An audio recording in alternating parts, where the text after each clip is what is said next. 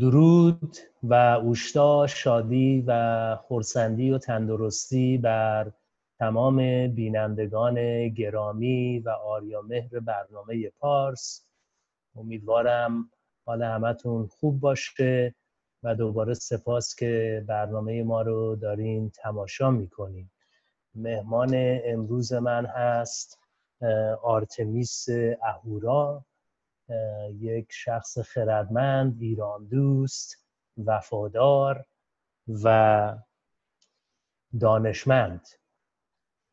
و پیش از اینکه من آغاز کنم یک فلسفه ای ما ایرانیا داریم که به نام یتا آهو که این یتا آهو نشون میده که چریختی یک شخصی باید انتخاب بشه یا برای رهبری.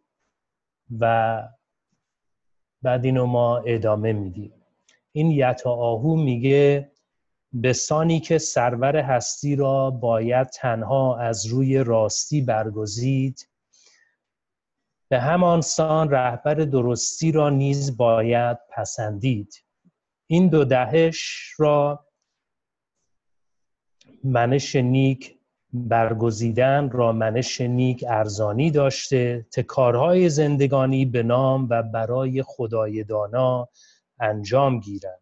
همچنین شهریاری از آن خدایی است که آبادنگی و برای بازآبد گردانیدن دینداران ستم دیده داده است. یعنی اگر ما شخصی که می‌خواد رهبری بکنه چه در یک کشور باشه چه در یک بیمارستان باشه چه در یک کمپانی باشه چه در یک تیم ورزشی باشه این شخص باید دانش و دانایی فنی اون کار رو بدونه آموزش داشته باشه تحصیل کرده باشه و همچنین شناخته باشه. ما کارنامه این شخص رو داشته باشیم تاریخ نامش رو داشته باشیم. بعد از اینکه ما همه این چیزها رو نگاه می‌کنیم با خردمون با, با وهومنا با منش نیکمون یک کسی رو ما میپذیریم که این کار رو به عهده بگیره. و متاسفانه در این زمان که همه جا مثلا دموکراسی وجود داره این شرایط ها وجود نداره.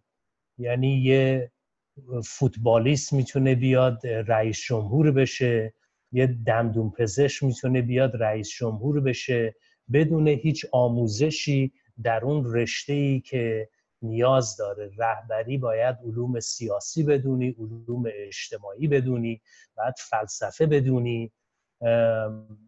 راستش بخوای تو امریکا اگر شخصی محبوب باشه و بیشترین پول رو داشته باشه برای کمپین انتخابات می‌تونه یه 18 ساله رقاص باشه که یک روزم مدرسه نرفته می‌تونه رئیس جمهور بشه. یعنی هیچ شرایطی هیچ اتریبیوتی وجود نداره که یک شخصی رهبر بشه. البته راستش رو بخواین انسان فانه بگم خیلی از این رهبرای ما امروز خب شاید وکیل باشن یه آموزشی دارن ولی بازم با اون نیازی که به رهبری که از بچگی باید بزرگ بشی مثل کوروش و پرورشت بدن که این کار رو انجام بدی ما در دنیا خیلی کم می‌بینیم. این یه ضعفیت و سیستم سیاسی چه دموکراسی باشه چه فاشیستی باشه چه کمونیستی اونم اشکالات خودشو داره. یعنی اینجا ما باید سیستم درست رو انتخاب بکنیم و رهبر درست رو انتخاب بکنیم. همچنین که یتا آهوب این آموزش رو به ما میده و ما در ایران باستان این خرد و, و این راهنمایی رو ما داشتیم. درود بر شما آرتمیس جان گرامی. سپاس که امروز کمک می‌کنیم ما این برنامه رو اجرا بکنیم و دوباره به بینندگان ما یه آموزش خوبی از طریق گاتا، اوستا، فرهنگ ایران و فلسفه ایران. ما اینجا یه نشستی یه سخنی با هم داشته باشیم. بفرمایید آرتمیس شما سپاسگزارم جناب اش درود بر شما و درود بر همه بینندگان و شنوندگان برنامه زرتوش در کانال پارس. و خیلی ازتون سپاسگزارم که منو به این برنامه مهمان کردید. سپاس از شما سپاس که شما اومدین خرد شما و خرد هر کسی که این برنامه میاد یکتاست. بفرمایید. خیلی سپاسگزارم. همونطوری که شما فرمودین خب ما ایرانیان در پیش از اسلام یک آموزه ها و یک بینش و نگرشی داشتیم یک جهانبینی داشتیم و یک سیستمی به زندگی نگاه می کردیم و بر اساس اون مسائل روزانمون و زندگیمون رو حل و فصل می کردیم که متاسفانه در پس از اسلام اون سیستم از بین رفت. عموما یک انسان زرتشتی در پیش از اسلام بر اساس آموزه های زرتشت روی دو عنصر در واقع در زندگی و مسائلش حل و فصل مسائلش اقدام می‌کرد.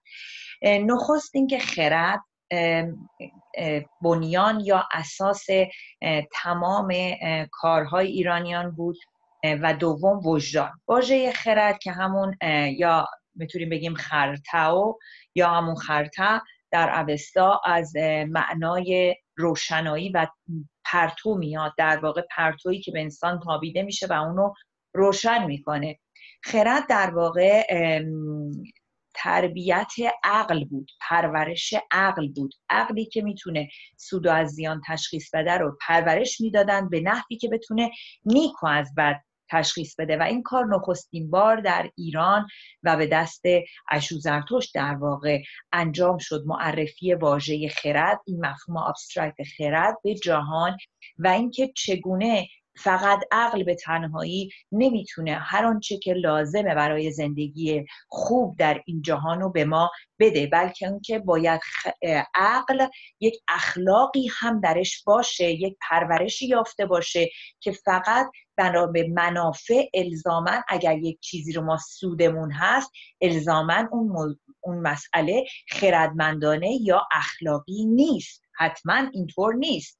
بنابراین تفاوت بین نیک و بد یکی از اصول مهمی بود که مردم در ایران پیش از اسلام در زندگیشون اعمال می‌کردن. از این روی هم ایرانیان هرگز بر این باور نبودن که هدف وسیله رو توجیه می‌کنه. چیزی که غربی ها بهش اعتقاد داشتن برای رسیدن به یک هدف از هر وسیله ای چه شرافتمندانه چه غیر شرافتمندانه چه اخلاقی چه غیر اخلاقی چه نیک چه بد استفاده می‌کنن برای اینکه به هدفشون برسن. ولی ایرانیان چنین باوری نداشتن و اعتقاد داشتن که راه زندگی یکیست و آن هم راه راسته و راستی همیشه بر مبنای خرد پدید می آمد اگر که شما خرد نداشتید تشخیص نمی‌دادید چی نیکه چی بد پس چی راسته چی نیست. یکی این بود. دوم که وجدان که از واژه دعنا به معنی دیدن می آمد در اوستا به معنی دیدن درون بود. یعنی اون چشم درون شما که می‌تونست باز دادگری یا قضاوت بکنه بین مسائلی که شما باید تصمیم بگیرید و وجدان یا اون نور درونی بعدها تبدیل شد به واژه دین و حالتی از باورگونه به خود گرفت و بعد از اون خود دین هم پس از اسلام مفهومش کلا تغییر یافت تبدیل شد به مذهب و شریعت و می‌دونین اون مسائلی که ما الان به اسم دین اسلام مثلا می‌شناسیم اون پایه و اون دین شد یک مذهب در حالی که دین واقعا در باور ایرانیان به معنی وجدان و نگاه درونی شما بود و این ایرانیانی که بر اساس وجدان و خرد زندگی می‌کردن می‌دیدید که شعارهاشون پیش از اسلام چقدر با پس از اسلام فرق می‌کرد. زندگی ایرانیان اساسش این بود که هر آنچه برای خود میپسندی برای دیگران بپسند و هر آنچه برای خود نمیپسندی برای دیگران هم نپسند. در نتیجه این نشون می‌داد ایرانیان چقدر وجدان داشتن و چقدر بر اساس انصاف و در واقع روشنگری نگاه می‌کردن به مسائل. یکی از مسائل به نظر من مهمی که در ایرانیان وجود داشت این بود که این گونه نگاه به زندگی و این گونه تجزیه و تحلیل مسائل روزمره جهان پیرامون از ایرانیان انسانهایی می ساخت به قایت نیک. که این نیکی در اندیشهشون بود در گفتارشون بود در رفتارشون بود و در هر آن کاری که می‌کردن هر آن چیزی که میساختن هر آن چیزی که ایجاد می‌کردن روی هستی این مسیر و مدار اصلی زندگی متاسفانه حالا پس از اسلام چه اتفاقی افتاد؟ اگر که اجازه می‌دید من این جستا رو راحت باش تمام زمان مال شما. خیلی اختیار دارید سپاس در پس از اسلام 300 400 سال ما می‌دونیم که طول کشید تا اسلام به صورت کیش غالب در ایران در اومد. یعنی 300 400 سال ایرانیان به هر حال مبارزه کردن مخالفت کردن خونها ریخته شد کشته ها دادن. اما خب به مرور نیرو به مرور نیروی ایرانیان ضعیف شد و روز به روز عده عربی که اومدن تا روستاها و نقاط دور افتادم رفتن بیشتر شد و به هر حال موجب شد که کیش غالب تبدیل شد به اسلام. حالا اسلام نگاهش به زندگی چگونه بود؟ بر مبنای دو عنصر اسلام انسان رو در جهان می‌دید. یک بر مبنای ایمان یعنی عنصری که اصل و اساس زندگی یک انسان رو باید تشکیل بده ایمان بود. حالا ایمان فرقش با خرد چی بود؟ خرد یعنی اینکه عقل خرد یعنی اینکه تشخیص. یعنی گزینش شما بین نیک و بد و اندیشه کردن و تصمیم گرفتن. اما ایمان یعنی اینکه شما یک باور چشم بسته و کورکورانه و پیروانه ای داشته باشید از آن چیز که بهش ایمان آوردید و اونو باور کردید یعنی فیت. فیت یا همون چیزی که ما بهش میگیم ایمان چیزی است که شما رو کلا از اندیشیدن خلاص می‌کنه. یعنی دیگه به شما میگه که شما نیازی نیست اصلا فکر کنی. شما نیازی نیست که پرسش کنید نیازی به بحث و جدل نیست. حالا چرا؟ چگونه؟ اینها رو دیگه شما لازم نیست بدونید چرا که خدا خواسته. و وقتی خدا چنین چیزی خواسته و شما ایمان آوردید به این دین و مسلمان شده اید دیگه شما ازتون همه چیز ساقه. هر کاری که خدا خواسته همون چیزی که خدا خواسته فقط هم در نتیجه شما می‌بینید که انسان ها کارهایی انجام میدن و پیروی دارن که اصلا دلیلش رو نمی‌دونن. اصلا شاید هیچ منطقی هم توش نباشه. و کارهایی رو می‌کنن که فقط خدا باید بهشون گفته باشه یا دیکته کرده باشه. نکته بعدی حالا برای اینکه برای همین هم هستش که شما توی اسلام می‌بینید توی قرآن اومده هر حرفی می‌زنه میگه ای کسانی که ایمان آورده اید. یعنی شما فقط به پیروان دین اسلام این دین فقط داره یا این باور یا این آین داره یک حرفهایی رو می‌زنه. فقط کسانی که ایمان آوردید. یعنی چی؟ یعنی اونایی که ایمان آوردین و اندیشه و منطق تعطیل و از الان آی شمایی که ایمان آوردید این کارو بکنید اون کارو نکنید. این قضیه ایمان. حالا می‌رسیم به نکته دومی که اسلام بر اساسش بنا شده و اون تقواست.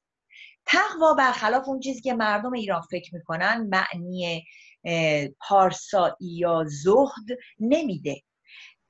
تقوا دقیقا به معنای خدا ترسی است یعنی یه اللهی هست الله ترسناکی هم هست و الله اون بالا نشسته طبق ویژگی هایی که در قرآن اومده قاسم و جبار و نمی‌دونم قادر و یک موجود بسیار انگار عصبانی و خطرناکی است که مردم همه انسان ها باید ازش بترسن. و این خدا ترسی بسیار فرق می‌کنه با وجدانی که شما دارید. چرا؟ چون وجدان نور درونی است. یعنی نگاه شماست. نور درونی است که انصاف شما رو تعیین می‌کنه و شما رو وادار می‌کنه به انجام هر کار خوب یا بد بر اساس باور به خوب یا بد بودن اون کار. اما تقوا این کار رو با شما نمی‌کنه. تقوا یعنی فقط خدا ترسی. یعنی خدا باید اینقدر ترسناک باشه که مردم دائم در وحشت و خوف و یه حالت نگرانی باشن که من کاری نکنم که خدا خوشش نیاد یا فقط باید کاری کنم که خدا خوشش بیاد. حالا چه این کار خوبه چه بده چه منطق داره چه نداره. از این روی نمونه واضحش. شما در روز عید قربان در سراسر جهان مسلمان ها میلیون ها بلکه میلیارد جاندار رو می‌کشن. جان میلیون ها یا میلیارد ها گوسفند رو در سراسر دنیا می‌گیرن. چرا؟ هیچکی نمی‌دونه. برای چی ما باید همه این همه خون بریزیم در یه روز؟ چون خداوند گفته چون در قرآن اومده که ما باید این کار رو انجام بدیم و منم چون خدا ترس هستم و تقوا دارم باید این کار رو انجام بدم تا خدا ازم عصبانی نشه.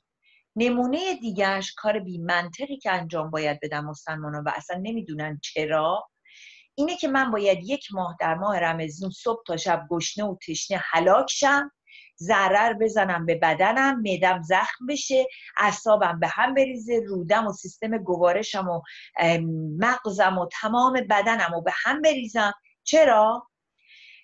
برای اینکه خداوند گفته که یک ماه شما باید گرسنگی بکشین. حالا بعدا دکانداران دین اسلام که می‌خوان بیان خب توجیه باید بشه هر کدوم از این کارهای غیر منطقی برای چی این کار رو شما باید بکنین؟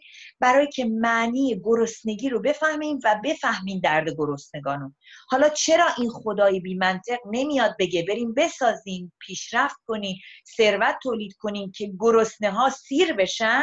معلوم نیست چرا این کار رو ما نباید بکنیم. ولی باید سیرا گرسنگی بکشن که بفهمن گرسنه ها چی می‌کشن. ببینیم منطقی که اصلا در یک دین وجود نداره.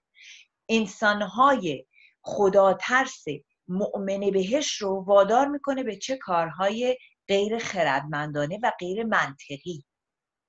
و برای همین شما وقتی که از یک مسلمان فقط یک توجیه ساده یک توضیح ساده راجع به اینا می‌خوان چون که اجازه پرسش شما در این دین ندارین. اجازه بحث و جدل و بگو نگو ندارین. شما نباید اصلا چیزی رو زیر سوال ببرید و همه چی و فرموله شده همین که هست باید بپذیرید و هیچ ربطی هم به هیچ زمان و مکانی هم نداره شما تا پنج میلیون سال دیگه دنیا به هر اندازه از پیشرفت و تکنولوژی هم برسه. شما باید همون کاری که تا الان 1400 سال پیش شاید تا بعد از این بشه 4000 سال پیش. به شما گفتن بدون کم و کاس فرمول پیچیده شده در بعد انجام بدین. وقتی شما اینو ببرید زیر سوال مسلمانان اولین کاری که می‌کنن رگای گردنشون می‌زنه بیرون و اونایشون هم که افراطیان مثل افغانستان مثل پاکستان مثل خیلی از نقاط مسلمانان عراق یا جای دیگه عربستان جای دیگه حتی حاضرن شما رو بکشن. چرا؟ چون شما نباید بپرسید شما نباید بیاندیشید. از این رویه که جناب اش ما فکر می‌کنیم موقعی که ما داریم صحبت می‌کنیم از اندیشه ایرانی ما هنگامی که داریم صحبت می‌کنیم از باورها و نگاه ایرانی منظورمون این نیست که ما می‌خوایم بگیم اسلام بده یا یک دین دیگه مثلا مسیحیت چگونه است یا یهودیت چگونه است یا بهاییت چگونه است. ما داریم میگیم ما ایرانی ها بیایم بر اساس سیستمی زندگی کنیم که خردمندانه و وجدان مدار باشه.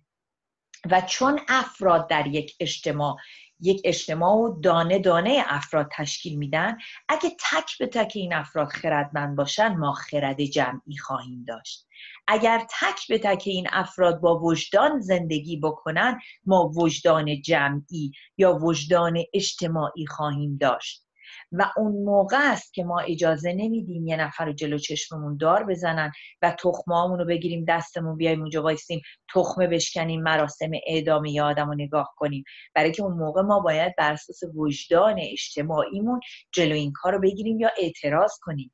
یا اگر ما خردمند باشیم دیگه اون وقت نمیایم وایسیم حیوانات و جانداران اطراف رو ببینیم می‌کشن زیست بوم و نابود می‌کنن و ما نه تنها صدامون در نیاد بلکه باید میسیم بی تفاوت نگاه می‌کنیم و فقط سلفونامون یا دوربینای موبایلامون رو در میاریم و از این تصاویر دلخراش عکس و فیلم تهیه می‌کنیم. برای اینه که ما فکر می‌کنیم بایستی جامعه ایران بازگرده با سیستم اندیشه و باوری زندگی کنه که خردمدار و وجدان مدار باشه و اصولش بر مبنای زندگی سازی باشه آباد سازی باشه رواداری باشه آزادگی باشه دهشمندی باشه دادگری باشه. اگر اینها در اجتماع ایران وجود داشته باشد اجتماع ایران دوباره پوست میندازه و دوباره درست میشه و دوباره ما به انسانهای طبیعی و نرمال و متعادل و در واقع میشه گفت افرادی که دنبال رسایی یا کمال همگانی و جامعمون هستیم می‌رسیم. ببینین آرتمیس جان سخنات سخناتون بسیار خوب و زیبا بود. ما هروداتوست تاریخ نویس یونانی میگه که ایرانیا به فرزندانشون یاد می‌دادن که همیشه کار راستی بکنن و پندار کردار و گفتارشون همه چیزشون راست باشه. و ریشه این عمل راستی که در فرهنگ ما ایران بود که متاسفانه امروز نیست چون فرهنگ ایران امروز فرهنگ ایران نیست. یه فرهنگ خارجیه که اومده در سرزمین ما. چون اشو زرتشت نه هزار سال پیش نام ایران رو گذاشت آریانا وایج یا آریانا ویج که ریشه آریانا یا معنای ایران که من اینو همیشه میگم یعنی کسی که راه راست میره. واژه ایران یعنی اشا واژه ایران یعنی آرتا. واژه ایران یعنی راستی. همون راستی که هروداتوس میگه که ما ایرانیان به فرزندانمون یاد می‌دادیم. ما این راستی رو از کجا آوردیم؟ حالا این راستی ریشش کجاست؟ همون جوری که اشو زرتوش در گاتا خرد را ستایش می‌کنه یا مزدا که به زبان انگلیسی شده wisdom ریشه تمام خوبیا و این مفهوم مزدا انقدر بزرگه. مفهوم مزدا تقریبا دو تا بخش داره. اگر سادش بکنم. یه بخشش دانشه. به انگلیسی بهترین مفهوم برای ویزدم یا مزدا یا خرد میشه دانش میشه نالج وقتی کسی بتونه مثل همون یتا آهو دانشش رو داشته باشه که کاری رو می‌خواد انجام بده اونو بلد باشه. ولی یه بخش بسیار مهم دیگه ای هم که داره چون من می‌تونم یه دانش خیلی چیزا رو داشته باشم ولی آدم خرابکاری باشم. می‌تونم دانشم رو برای دروج و کارهای بد استفاده بکنم. چون رفتم دانشگاه من دانش آکادمیک گرفتم ده تا مثلا دکترا گرفتم دلیل نمیشه که من اینو درست استفاده بکنم. می‌تونم بذارم به استفاده به کارهای بد تمه و مردم رو ترسوندن و دنیا رو ستم دادن و اکسترا یه بخش دیگه یه خرد اینه که این دانش رو باید با دعینا یا وجدان استفاده بکنی که سودمند باشه برای خود من برای اجتماع برای جهان برای حیوانات و برای محیط زیست. که به این به انگلیسی میگیم جاجمنت یعنی knowledge ی که به judgment خوب استفاده بشه. این دوتا بخش که بهش میگیم science and ethics. مزدا یعنی science و ethics. حالا این ethics چیزی نیست که نیاز نیست بری دانشگاه اینو یاد بگیری. ما کارهای فنی و science و knowledge و دانش و میریم دانشگاه ما اینو یاد می‌گیریم. ولی واقعا ethics توی فرهنگت باید باشه. یه چیزیه که تا پنج سالگی مادرت باید بهت یاد داده باشه. ده سالگی باید مادرت بهت یاد داده باشه. اینو هرودوت میگه. هرودوت میگه اینا از لحاظ اخلاقی از لحاظ morality از لحاظ ethics وجدان دئنا باید ما کار راست رو انجام بدیم. و از لحاظ کسب کردن دانش اون می‌تونه شرایط زندگی انسان بهتر بکنه. برای همین ما میریم دانشگاه اینقدر دانش یاد می‌گیریم. یکی دکتر میشه که بیچاری های بدبختی های مردم رو کم بکنه یکی پرستار میشه یکی میره وکیل میشه. ما باید اینو بفهمیم که این دانش و این روش اخلاقی این دوتا اگر بیان به هم این میشه این کهکشان بزرگ مزدا یا ویزدم یا خرد. که میگم نام ایران اینه. هرودات میگه فرهنگ ما اینه توی گاتا ما می‌بینیم درباره وجدان و روش اخلاقی هی داره سخن میگه اشو زرتوش درباره خرد و همون چون که گفتیم سیستم آموزشی در دنیا اولین کسی که یه مدرسه آموزشگاه دانشگاه هر چی نامش رو می‌خوای بذاری داشت با صد تا دانشجو اشو زرتوش بود. که امروز مردم هر همه پا میشن. از بچگی پنج سالگی میرن مدرسه تا دیپلم بگیرن امیدواریم برن لیسانس بگیرن امیدواریم برن دکتراشون رو بگیرن مثل خود شما که چی؟ این دانش رو استفاده بکنیم که جهان ما بهتر بکنیم. این واژه فرش و کرتی که ما وظیفمون اینه که جهان رو بهتر بکنیم و ببریم به طرف رسایی و کمال همچنینی که شما گفتیم حالا اینا مردم چه بدونن چه ندونن چه به ما باور داشته باشن چه نه تمام جهان زرتشتی شده. وقتی که تو قبول می‌کنی بچت رو بیدار کنی از 6 سالگی بفرستیم مدرسه که دانش کسب کنه این چه بدونه چه ندونه زرتشتیه. و یه نقطه بسیار مهم دیگه این واژه دینه که شما گفتیم دین برای ما دیده دید خوب که اشو زرتوش گفته نام باور یا فلسفه من دعینا که میشه دید ونگوی خوب. دید خوب. این دید اومده شده دین که دین اومده شده مذهب که عرب ها یه واجهی دارن به نام دینو که یعنی فرمانی که از خدا میاد که ما باید بتر بترسیم و هر فرمانی که اومده ما کورکورانه باید بریم دنبال این. خودت بعد واستی با عقل و خردت بگی آقا این فرمانی که به من اومده چه یه ملا به من میگه چه یه معلم به من میگه چه پدرم میگه چه یه کسی تو خیابون میگه من باید با عقل و خرد خودم با وهومنا منش نیکم بسنجم ببینم آیا این فرمان درسته یا نه.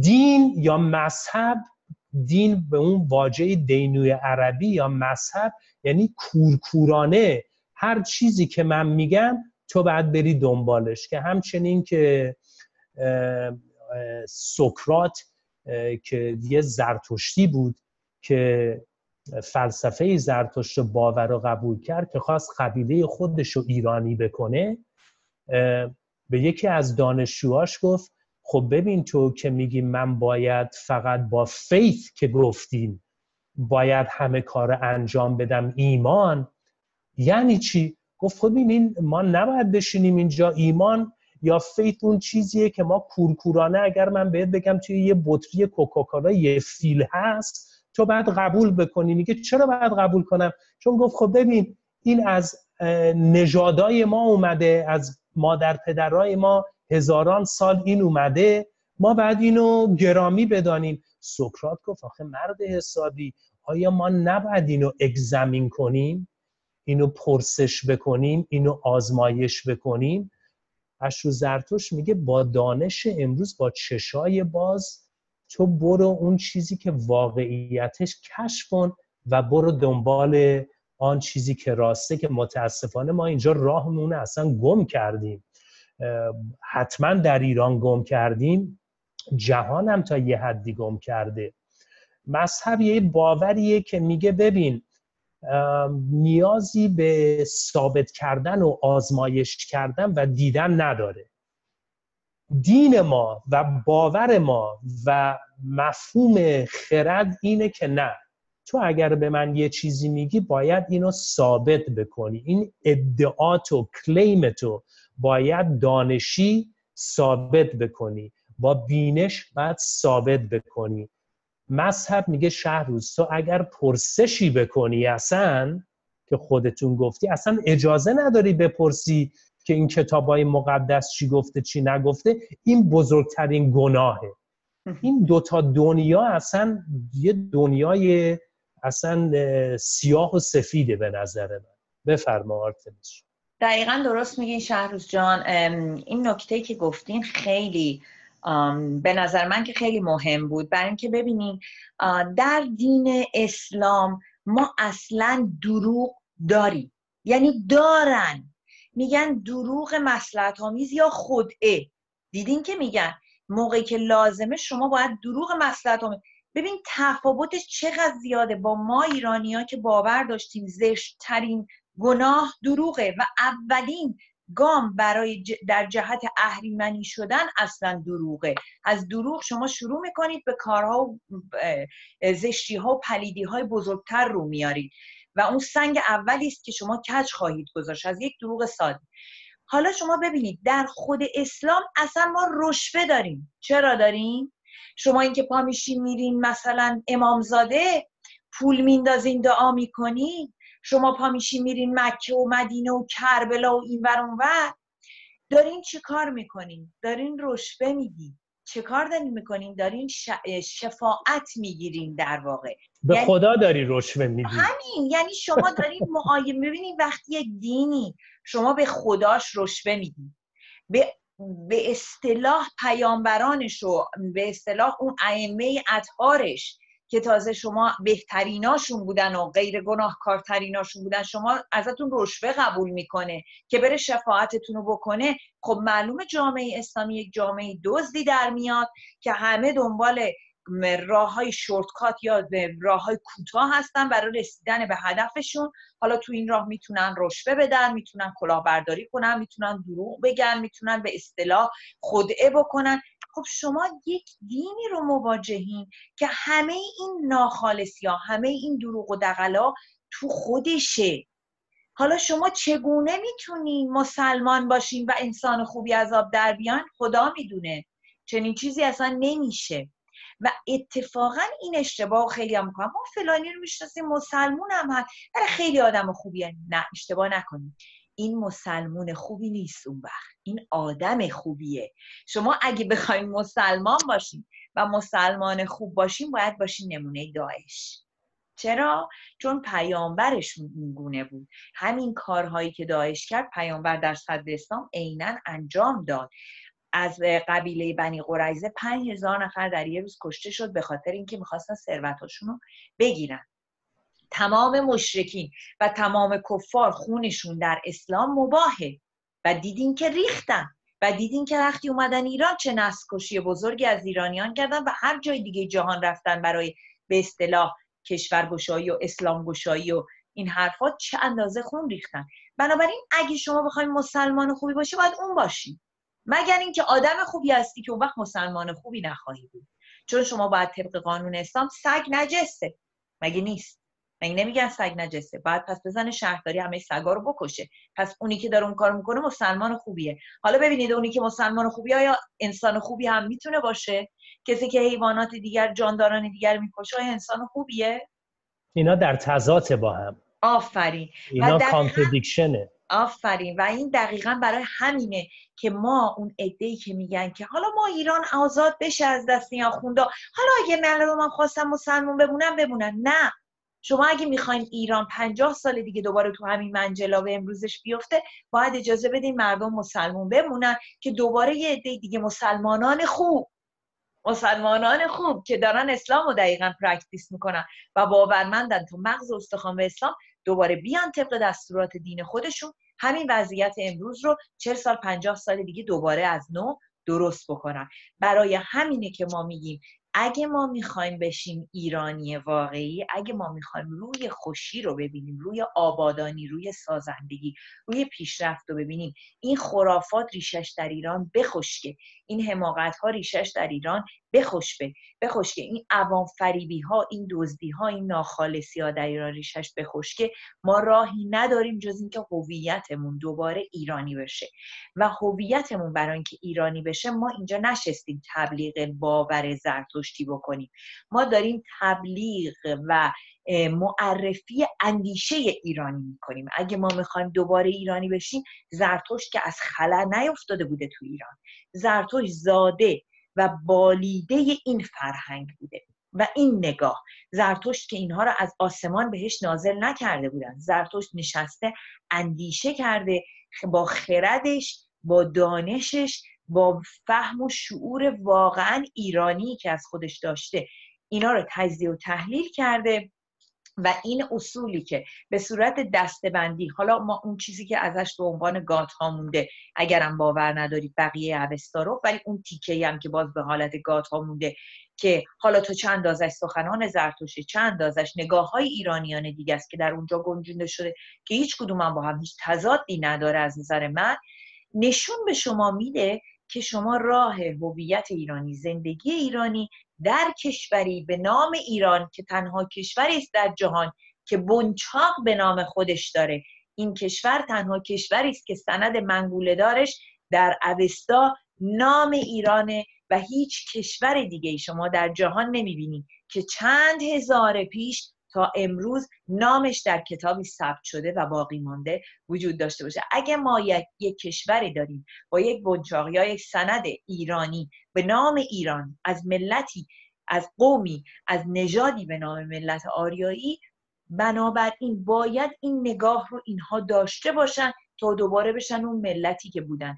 اگر نه ما فقط ناممون ایرانی است ولی هویتمون باورمون نگاهمون شیوه زندگیمون اصلا ایرانی نیست. یک آش هفتمن جوشی است ملغمه است که یه مقدارم اسلام قاطیش شده یه خوردم از شمینیزم مغولی ترکی اومده قاطیش شده یه خوردم از این طرف اون طرف از غرب واردش شده یه خوردم هم تو به هم ریختگی هایی که از بانیان ایرانی درش مونده یک آش هفت منجوشی است که ما خیلی هم خوشحالیم و خودمون رو فکر می‌کنیم ایرانی هستیم و فکر می‌کنیم فرهنگمون هم ایرانی است. در حالی که چنین چیزی نیست و امیدوار هستیم اگر مردم ایران به این درجه از آگاهی برسن که مغزشون رو به کار بندازن دوباره با خردشون زندگی بکنن دوباره با خردشون فکر کنن شما بروزترین باور و کیش جهان رو در اختیار دارید. چرا؟ برای که کیش زرتشتی هر لحظه نو به نو میشه. برای اینکه این باور دانش اینطوریه. به شما میگه در هر زمان در هر مکان که هستی اندیشه کن با خردت خوب و بد و اون زمان رو بسنج و انتخاب کن. این فرق می‌کنه با تمام ادیان دیگه که از 2000 سال پیش 1400 سال پیش 2200 سال پیش 4000 سال پیش حالا طرف بودیزم بودیزم بودی بودایی هندویی یا نمی‌دونم مسیحی یا یهودی یا هر چیز دیگه که هست یک سری فرمول از گذشته براش گذاشتن قرار تا قیام قیامت با اونا زندگی کنه. تنها باوری در جهان که به شما میگه نو به نو لحظه به لحظه با خردت اندیشه کن و آزادی گزینش داری تو به عنوان یک انسان. و این انسان هم هیچ ربطی به جنسیتش نداره. می‌تونی زن باشی می‌تونی مرد باشی. شما در هیچ جای گات ها حتی در اوستا شما می‌بینید همه خطاب به انسان هاست. ای مردان و زنان. و در نتیجه چون همه انسان ها رو شامل میشه دیگه برای شما فرق نمی‌کنه. شما هر کی که هستی هر جنسی هم که هستی فرق نمی‌کنه. فقط با خردت با اندیشت و با آزادی گزینشت بهترین راه و درستترین راه و راه راست رو برگزین. در نتیجه شما نیازی نیست فرمولتون و نسختون رو به زور بیاین هی آپ تو دیت کنید به روز کنید. کاری که مسلمون ها سعی می‌کنن بکنن مسیحی ها سعی کردن بکنن برای اینکه بتونن این باور رو به روز کنن هنوز جوانانشون بتونن بیان دنبالش هی مجبور شدن یه تغییر و تحولاتی بدن. حالا این قسمت مسیحیت هم ما یه تغییراتی میدیم به روز بشه. حالا این قسمت آین مثلا یهودیت هم می‌تونیم به روزش کنیم. ولی شما نیازی ندارید برای آین هیچ چیزی رو به روز کنید. خودش به روز خواهد بود به صورت اتوماتیک برای اینکه شما رو با خردتون تنها می‌ذاره نه با یه سری فرمول از هزار سال دو هزار هزار سال پیش. چون این نابغه زرتوش که می‌دونیم دیدش دانشی بوده واسه همین نگفته بکن مکن نداره این کار بکن این کار انجام بده این کار انجام نده چون دانش اینطوری نیست. دانش یه چیزیه که ما هر روز کشف می‌کنیم و با اخلاق خوب اون رو استفاده می‌کنیم و بازم روشن فکریم که در و باز می‌ذاریم که اگر فردا یه دانش بهتری بیاد از اونی که من دیروز داشتم من اینجا حاضرم باورم عوض کنم. رواداریم عوض کنم. آره. رواداریم ما مدارا می‌کنیم با افراد و اندیشه های جدید. درست. ولی در باوری که در سنگ نوشته شده و هیچ وقت شما اینو نمی‌تونی عوض بکنی اصلا با دانش جور در نمیاد. و اینا هم همیشه می‌خوان اینو ماساژ بدن. آره این تو هم هست. میگن ببینین در تضاد تو اومدی یه یه چیزایی اینجا گفتی که ابدیه. نمیشه عوض کرد. از این ور میای میگی نه دانشیه. دانش یعنی تو همیشه باید در و باز بذاری که اینجا بتونی عوض بکنی سیستم تو باورت عوض بکنی. اینا باورایی هم که تازه ما ثابت کردیم.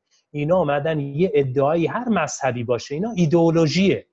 اینا همه ایدئولوژیه می‌خوان مردم رو کنترل بکنن و ازت سوء استفاده بکنن. و اینا یک جنگ هایی کردن یا آدم کشایی آد... کلی انسان کشتن که برای ما جان مقدسه.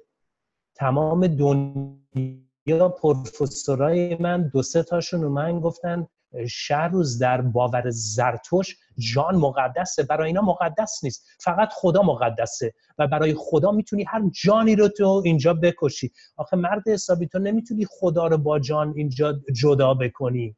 اصلا منطقی در نمیاد تو سخن دینجا.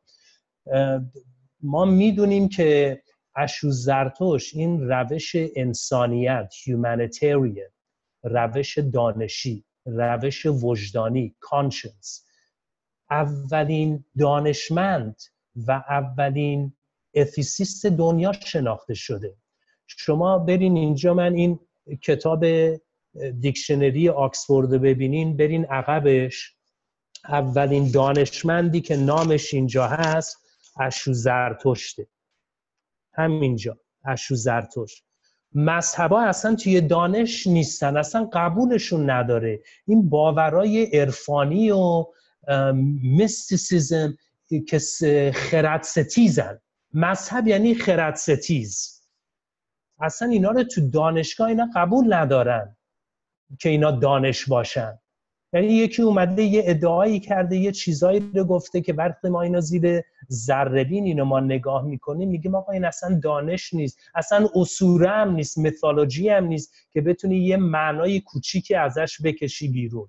باور من اینه مردم دارن وقتشون رو تلف می‌کنن برن دنبال این چیزا. برو مدرسه درس بخون برو دانشتو بیشتر کن برو بیرون تو خیابون مردما رو کمک کن که نیاز دارن حیوونا رو کمک کن. اون سگی که به میگن سگ نجسه یا سگ کثیفه سگ از همه انسان ها تمیزتره. عاطفش به انسان از یه انسان دیگه بیشتره. هیچ وقت به انسان خیانت نمی‌کنه. مرد حسابی این حرفا چیه که داری می‌زنی که همه خرافات و چرت و پرته و می‌خوای پا و زور بذاره روی دانش؟ همون جوری که مسیحیت به گلیلیو کرد. بله. یه آدم دانشمند که اومد یه واقعیت رو گفت اینا به زور گفتن نه تو داری اینجا تو کافری تو هرتیکی. چهل سال نذاشتن از خونش بیاد بیرون. پوست یه آدمی که حرف راست و زد. چون به سود خرافات نبود و بقالی خرافات نبود اینجا دهنش رو با زور بستن. هر سیستمی که این کار رو می‌کنه سیستمیه که باید واقعا برداریم بر علیهش بجنگیم و بندازیم توی سطل آشغالی. هر چیزی باشه از هر نژادی باشه و هزاران از این باورها هست. آرتمیس فقط مثلا هندویزم نیست و شما برین توی هند اینا چهار تا کس دارن طبقه دارن. پوست مردم کندن. به یه طبقه میگن شما کثیفین هیچ کسی نمی‌تونه به اینا دست بزنه. آخه این چه حرفیه مرد حسابی شما می‌زنید که اصلا با دانش جور در نمیاد که یه انسان از روزی که به دنیا میاد یه انسان کثیفه و یه انسان از اون بهتره. هیچ چیزی از این زشتر و ضد ایرانیتر وجود نداره. درسته. من یه نکتم اینجا حالا شاید در پایان برنامه باشه یه نکته دیگه هم به ذهنم رسید که اشاره بکنم. ما چیزی تحت عنوان زرتشتی مادرزاد یا زرتشتی زاده نداریم.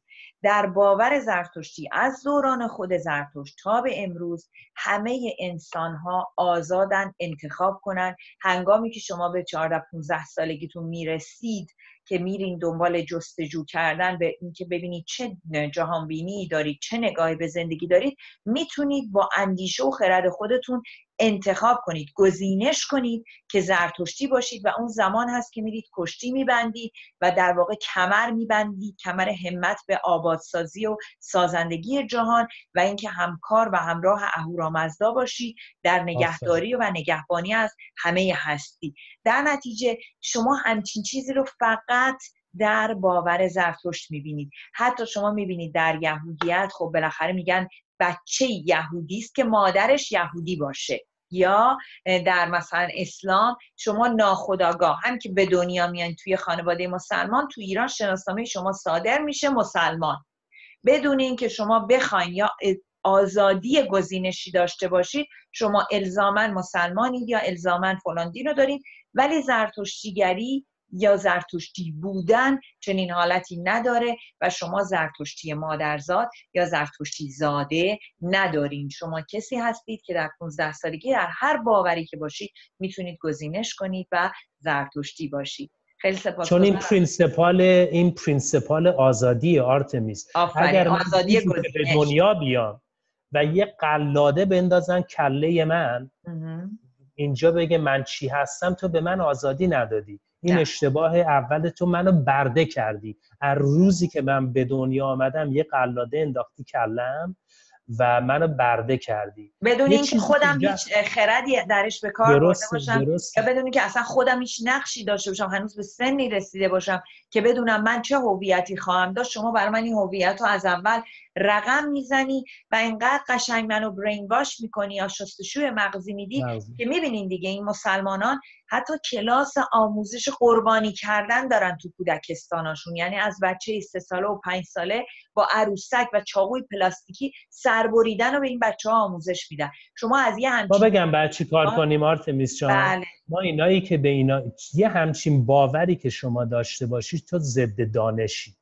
تو نه, تو نه بیمارستان نیاز داری نه دوا نیاز داری. اینا رو من بهت نمیدم. جلوی تو رو می‌گیرم چون تو سیستم خوی تو داری. اینا دوباره در تضاته و یه چیزی که اصلا منطقی جور در نمیاد وقتی روزی به دنیا میای میگن تو فلانی تو اینی تو اونی آخه کسی منطقی نمی‌تونه تو هیچ ایدولوژی به دنیا بیاد. تو نمی‌تونی تو باوری به دنیا بیای. ما تمام باورامون رو خودمون انتخاب می‌کنیم. واسه همین اشو زرتوش واقعا دوباره یه نابغه بود سیستم فرهنگ ایران که میگه ببین تو برو به همه سخنها گوش بده به همه باورها گوش بده و هر مرد هر زن با آزادی خودت اون باورها رو انتخاب کن. چه باوره میگه دو به اضافه دو میشه چهار تو اونو گوش بده یکی میگه دو به اضافه دو میشه سه یکی میگه دو به اضافه دو میشه پنج. این آزادی رو داره تو بره به همه گوش بده بشین اینجا حساب کتاب خودتو بکن و برای خودت انتخاب کن. وقتی این قلاده هویت و با زور و اجباری و ایدئولوژی رو میندازن گردنت داره بهت زور میگه از روزی که به دنیا میای دو به اضافه دو میشه سه تو نمی‌تونی روتو بر این باور برگردونی. درسته. سپاسگزارم از اینکه منو تو برنامه دعوت کردیم. واقعا خیلی جستار خوبی بود. سپاس که شما لطف محبت دارین و خرد آریایی و مهر آریایی داری. که به این برنامه اومدین. امیدوارم این جهان بهتر بشه برای همه ما فرزندان جانوران به خصوص برای ایرانیان. امیدوارم زندگیتون اقتصادتون دانشتون سلامتیتون تندرستیتون افزایش پیدا کنه و زندگی خورسند و خوب و بهتری داشته باشیم و تا هفته آینده به یاری اهورامزدا جان به نام خداوند و جان خرد. ما برنامه رو به پایان میرسونیم و خدا نگهدار. خدا نگهدار.